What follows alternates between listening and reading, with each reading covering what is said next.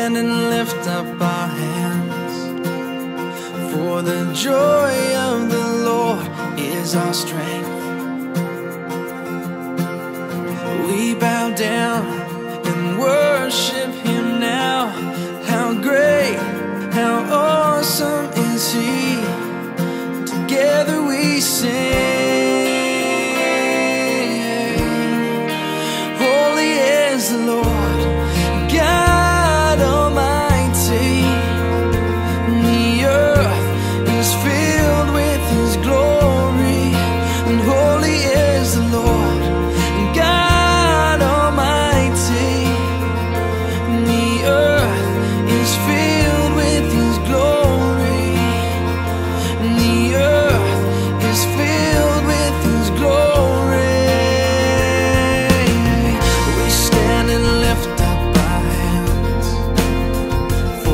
Joy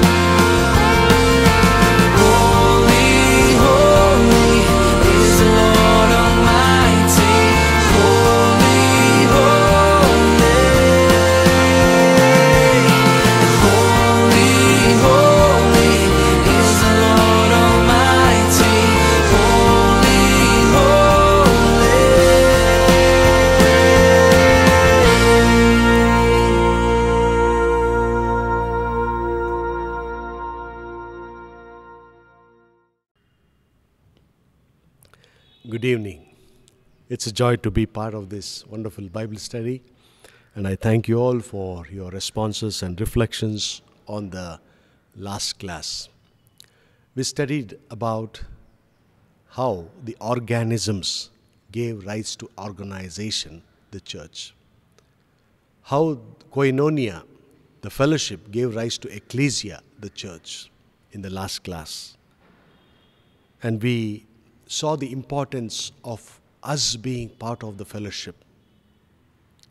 We also saw that the first century fellowship had problem, a deep problem, and how that problem was solved. They did not give attention to the problem. They did not leave the problem as it is, but they had resources as a solution for that problem. And they moved forward in the mission, and God added people into the fellowship, and the church was being birthed. This evening, we will focus on the plan and strategy of Jesus with respect to his church. How is God expecting to prepare and present the church? This is very crucial subject for us to understand, very important subject to understand because if we understand how God is expecting to prepare his church, we can align ourselves according to that expectation and start contributing towards that expectation and then we can grow as a church so that he can present us well on that last day. My dear people of god this evening we will dwell on how god is expecting to prepare and present his church. Every institution every organization has the motto has the goal to achieve whether it is an educational organization, institution, or some multinational company, or any other organization or institution. Every organization, every organization in the world has a goal to achieve. Similarly, God also has a goal for His church. He's working towards that goal. He wants the pastors to work towards that goal. He wants the fellowship of Jesus to work towards the goal so that he can form a church which is acceptable in the sight of God. The first century ch- church in the book of the Acts of the Apostles, yes, it was acceptable in the sight of God. The work between the people of the church and the God of the church was so collaborated that we see many verses last week that God added, added, multiplied, and that is the word we see. And the church grew and it spread all through Asia and Europe. My dear people of God, this evening we will see how God is expecting to prepare and present His church. If you would like to be part of that mission, then this study is for you. We will just go out of the book of the Acts of the Apostles because we need to understand the concept so that we can compare that concept to what is happening in the Acts of the Apostles. Turn with me to Paul's letter to Ephesians, chapter 5, verses from 25 to 27. The analogy is being used here. The metaphor is husband and the wife. Husbands, love your wife as Christ loved the church and gave himself up for her, that he might sanctify her, having blessed, having cleansed her by the washing of water with the word, so that he might present the church to himself in splendor without spot or wrinkle or any such thing that might be holy without blemish. Preparation and presentation is what we see in these two verses. He brings in the example of husband and the wife. I would like all of us to read another version, which is Young's literal translation, which is also very interesting for us to listen to. I urge all of us to listen to this translation. It says, The husbands, love your own wives, as also the Christ did love the assembly, and did give himself for it, that he might sanctify it, having cleansed it with the bathing of the water in the saying that he might present it to himself the assembly in glory, not having spot or wrinkle or any of such things, but that it may be holy and unblemished. My dear people of God, this is the strategy of Jesus to the church. This is his strategy to the body of Christ, which I and you are part of. We need to work towards this strategy of Jesus as the body of Jesus Christ. So, the relationship between the husband and the wife is that they are soulmates before they are husband and wife. Similarly, the church needs to work on the soul, the fellowship, koinonia, before they function as a church. But unfortunately, we are trying to work on the organization rather than the organism. Again, we come back to the same concept that we learned last week organism and organization. Many of us focus on the organization. The organization doesn't have much to do. If the organism is weak, organization will die one day. If the organism is stronger, no matter what the problem is, the organization will sustain. That is how, even in the multinational companies, employees are important. They contribute to the organizational growth. That is how they are chosen into the company. If their skill and abilities do not contribute much to the growth of the organization, they are called and they are given warnings, and if even after the warnings, if they don't listen, they are fired. My dear people of God, can we afford to lead a life without knowing the strategy of Jesus for the body of Christ? That is a question I and you need to answer. What happens if we do not work? As the principle is, we will lose our track on the journey and we will reach a different destination altogether. We need to work towards this strategy of Jesus to the body of Christ. Isn't it that important to you and to me? Isn't it that important to your family and to my family, to your children and to my children? We will read again. Verse 25 Husbands, love your wives as Christ loved the church and gave himself up for her. Giving oneself to the other with our lives. That is why God says, in marriage, both of them, the husband and wife, become one.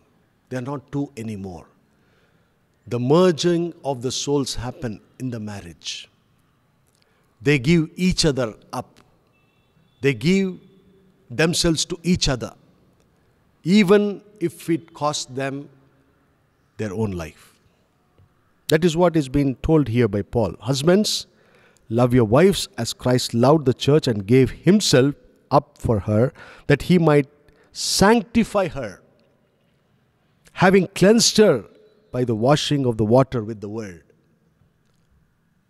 My dear people of God, when Jesus was speaking to Nicodemus in John chapter 3, he says one crucial truth which is very, very important. Unless the, more, unless the man is born of the water and the spirit, here it is there. Washing of water with the word. Word is the spirit and the water.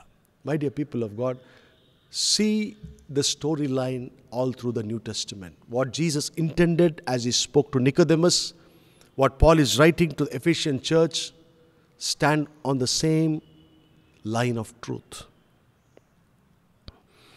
That he might present it to himself, so that he might present the church to himself in splendor, without spot or wrinkle or any such thing. See what is in the mind of Jesus Christ. See what he's working towards. Okay, now let us compare this definition here in Ephesians to what happened in the book of Acts of the Apostles. See the lifestyle of those people. Even the passage that we chose last week, Acts chapter 6, 1 to 7. Were these characters found in those people whom the apostle chose to solve the problem? Absolutely. Seven men, they were not apostles, but full of the Holy Spirit and wisdom. Were they moving towards this strategy? Absolutely. They were moving towards this strategy. And they were part of the body of Christ. My dear people of God, we need to think through. If we just listen, it's of no use. We need to think through and see whether these truths are present in the Acts of the Apostles, whether these truths are present in my church and your church. Is it is these truths present in my family? My dear people of God, very crucial for us to understand. It's no point working on the organization unless you focus your attention on the organisms, the fellowship. Where there is the Holy Spirit, there is the fellowship, the fellowship of the Spirit. And where there is the fellowship, there is the church. Let me repeat it once again. Where there is the Holy Spirit, there is the fellowship. Where there is the Holy Spirit, there is the fellowship. If the fellowship is not strong in your church, it means the Holy Spirit is not present. Where there is the Holy Spirit, there is a fellowship, the fellowship of the Spirit, and where the fellowship of the Spirit, there is a church. In other words, where the Holy Spirit is, there is a church, and conversely, where the Holy Spirit is not, there is not the church. Sadly, many of our churches are without the Holy Spirit and fellowship. And we are praying, working, building without the master plan of Jesus Christ. And my dear people of God, it will not work, no matter how much we struggle in that line. So we need to understand whether I am aligning myself towards this strategy of Jesus. Come with me to John's Gospel again. John's Gospel, chapter 6, verses from 31 onwards. It speaks about it speaks about the bread, the living bread, okay? So we will read from 31 onwards. Our fathers ate the manna in the wilderness, as it is written. He gave them bread from heaven to eat. Jesus then said to them, Truly, truly, I say to you, it was not Moses who gave you the bread from heaven, but my Father gives you the true bread from heaven. For the bread of God is he who comes down from heaven and gives life to the world. They said to him, Sir, give us this bread always.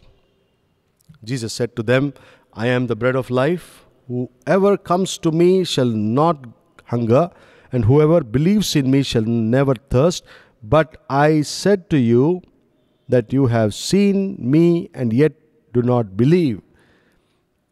All that the Father gives me will come to me, and whoever comes to me I will never cast out. 38.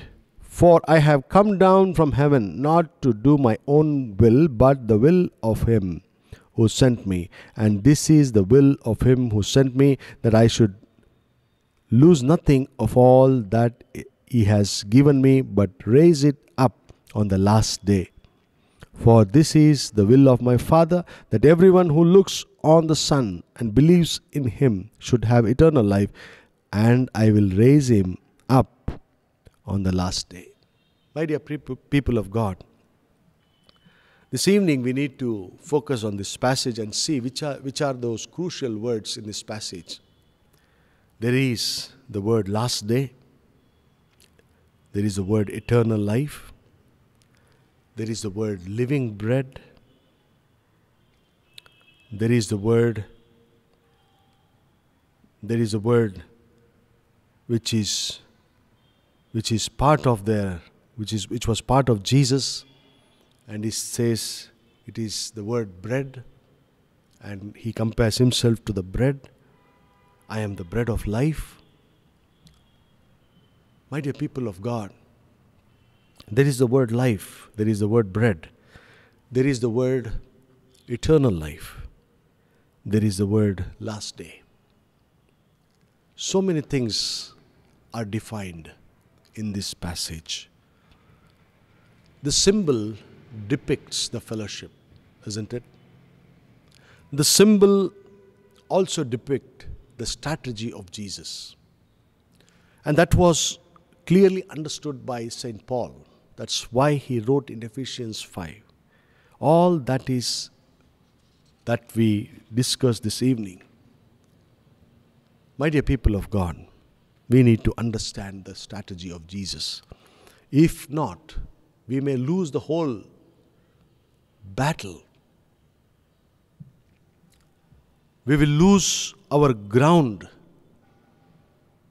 on the last day.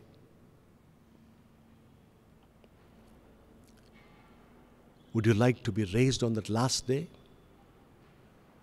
Then strategy is very important. There is a goal to achieve, and that goal will give us the grace to be risen on that last day.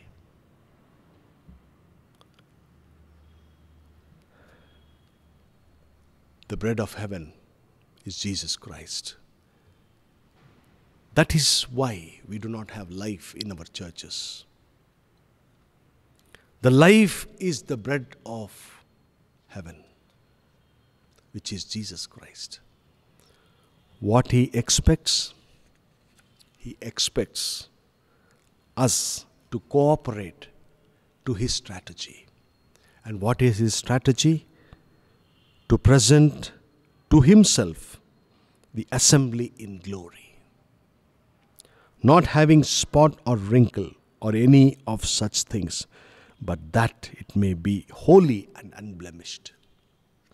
Are you working towards the strategy of Jesus Christ? Is KMC working towards the strategy of Jesus Christ? My dear people of God, this evening we need to make a decision. A decision because the revelation has been revealed.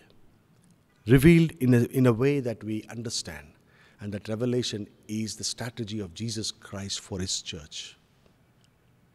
As husband and wife become one and merge with each other, sacrifice themselves for each other. In a similar way, God wants you and your church to be merged together. God wants you and your church to be merged to each other so that you can give your life to the church. You can give your life to the fellowship so that that fellowship will nurture the church in a way that God expects. My dear people of God, very crucial. As we saw the Gospel of John also, we saw something related to the kingdom on the last day, raising up on the last day. What if, if we are if we are part of the church whole of our life. And if we do not know the strategy of Jesus, and we have come to an end of our lives and lose our life on one day, and on that final last day, if Jesus says, All your journey is without the strategy, what can I do for you? Then what would be your answer and mine? Strategy is a very crucial word you have a strategy to your family, isn't it? You know what your children needs to become. Don't church, take the church lightly. The pastors are appointed in the church for a strategy. The fellowship is being, is being discovered. In the Methodist denomination, it is according to the age. We have the fellowship for every age group. Why? Strategy. Strategy of Jesus Christ for His church. What on that last day? If God tells me, Pastor Naveen, you have worked all through your life 40 years, 50 years as a minister, and you do not know the strategy of the church, and you worked and worked and worked and worked on. And on the last day, if he says to me, I do not know who you are, then what would be my answer to him? Come back to the truth, my dear people of God. It is very, very easy to do politics in the church. It's very, very easy to dominate the church because not much opposition in the church. People come just to worship and then go off. You do not have much, uh, you do not have much of the restriction. You can dominate as you want. But it is dangerous, says the word. If you want to continue, do it. Do it. Because the church defines, the, the word defines that there is a last day. And on that last day, you need to raise before the throne. For the last day, God has given a bread from heaven, Jesus Christ. He says in 635, I am the bread of life. Whoever comes to me shall not hunger. If you want to live, you need to eat the life which can give you the life, the bread of life. If you do not eat the bread of life, you will die. If you want to eat the bread of life, you need to follow the strategy of the one who gives the bread. Can we be part of a church without the strategy? Yes, there are different strategies to different churches, but we need to see what is the strategy of Jesus for his church. That is very crucial. And one more thing, and we will conclude today. Come to me again to see another relationship which is very crucial for us to understand. In Ephesians, same letter, Ephesians, chapter 2, verse from 14 onwards. I read from the ESV. For he himself is our peace, who has made us both one and has broken down in his flesh the dividing wall of hostility. By abolishing the law of commandments expressed in ordinances, that he might create in himself one new man in place of the two, so making peace, and might reconcile us both to God in one body through the cross, thereby killing the hostility. And he came and preached peace to you who were far off and peace to those who were near. For through him we both have access in one spirit to the Father. So then, you are no longer stranger, strangers or aliens, but you are fellow citizens with the saints and members of the household of God, built on the foundation of the apostles and the prophets, Christ Himself being the cornerstone, in whom the whole structure, being joined together, grows into a holy temple in the Lord. In Him, you also are being built together into a dwelling place for God by the Spirit. Very crucial passage. You know what is hidden behind this passage? It is the kingdom of God. Jesus has a strategy. Why? It is to lead the church to the kingdom that he will establish, that he has established. We need to understand that it is very important to give ourselves to the strategy of Jesus that we find in Ephesians 5 22 onwards, 25 and 27. Uh, and then the strategy, if it is completely absorbed into us, will lead us into the kingdom of God. This passage speaks about that. It speaks about fellow citizens, it speaks about the members of the household in verse 19. It speaks about the foundation. It speaks about the whole structure joined in the cornerstone, Jesus Christ. It speaks about building up in verse 22. My dear people of God, these words are very, very crucial for the body of Christ. The foundation is important. Joining together, stone by stone, to the cornerstone is very crucial. If you build, it should be magnificent. And that magnificent building is a glory to God. Why? Because it represents the kingdom of God. My dear people of God, has this given you any idea of the church that you belong to? Yes, it is crucial. It is crucial because this is the household of God. Every person is important. It is not Jews only, but Jews and the Gentiles. Everyone is important. It, it is easy to do the politics in the church. Again, I repeat it. You know why? Because many are being deceived by their own selves by doing the politics in the church. It is easy to do politics in the church, but to commit yourself to the fellowship, it is very hard. To make room for others into the fellowship is very hard. To commit yourself to these four pillars of truth in the body of Christ is very hard. The teachings of the apostles, the fellowship, the breaking of bread, and the prayer. My dear people of God, your life should give space for other brother and other sister in the fellowship for all these four. If you become hindrance, then you will see the consequences. If you are not part of the fellowship for these four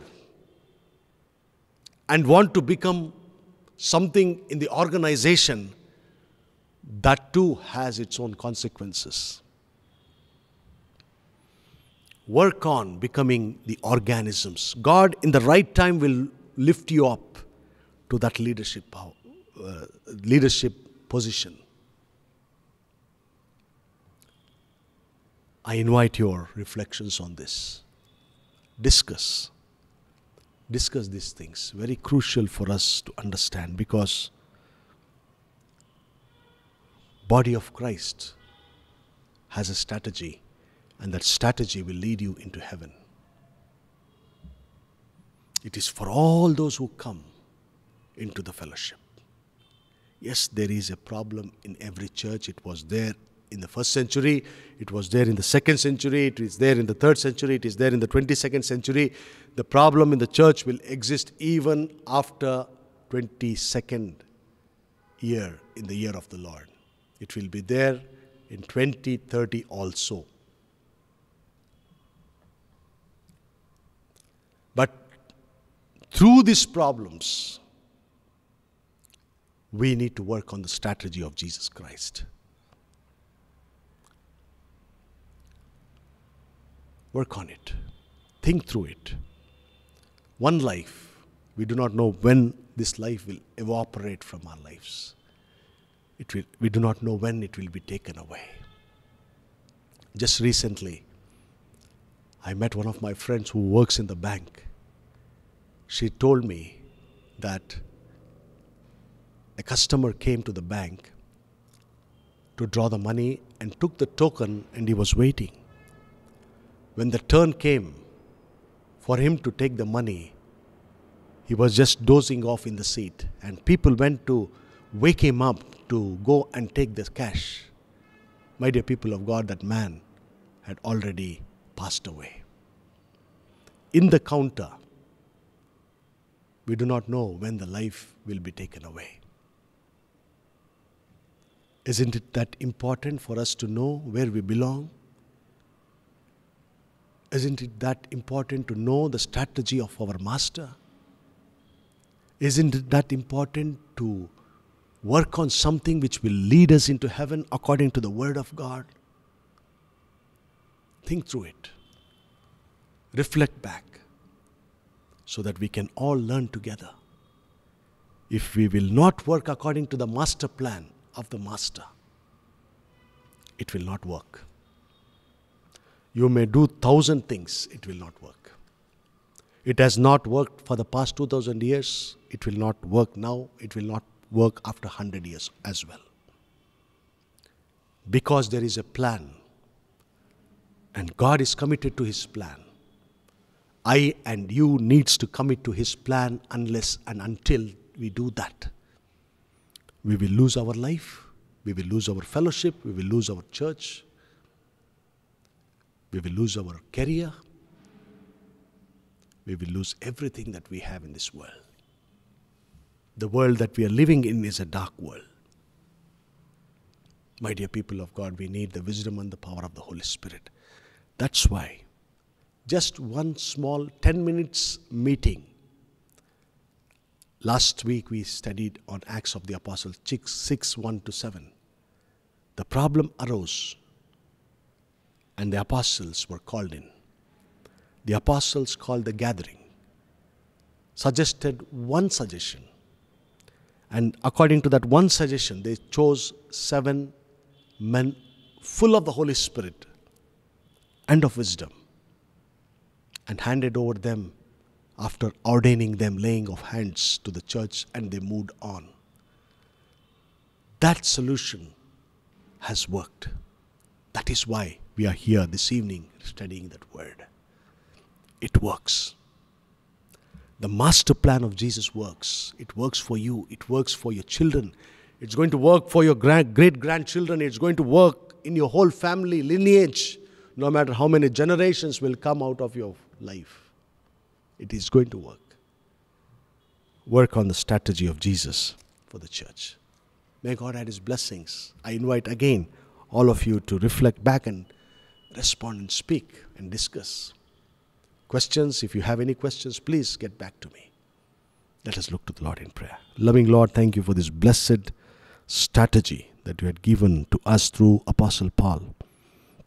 Apostle Paul also learned these strategies, Lord, from the book of the Acts of the Apostles, and then, Lord, he is advising the Ephesian church to become one with the strategy. Today, you are advising, you are speaking to the KMC. As you spoke to the Ephesian church, you are speaking to the KMC to be part of the strategy. Yes, Lord, it is very, very crucial for us to be to be acceptable in your sight because you are thinking of sanctifying the church. You're thinking of cleansing the church. You are thinking of presenting the church to yourself in splendor. Lord give us the grace to work on it. As individuals as christian families as Christian church. Help us to align ourselves according to your strategy so that we might be a blessing here and now for ourselves, for our families, for our children, for our great grandchildren, and also to the fellowship that we are part of through the church. In Jesus' most blessed name we pray. Amen. May the grace of our Lord Jesus Christ, the love of the Father, the sweet communion of the Holy Spirit rest and abide with all those who are passionate to work on the strategy of Jesus Christ now and forevermore. Amen.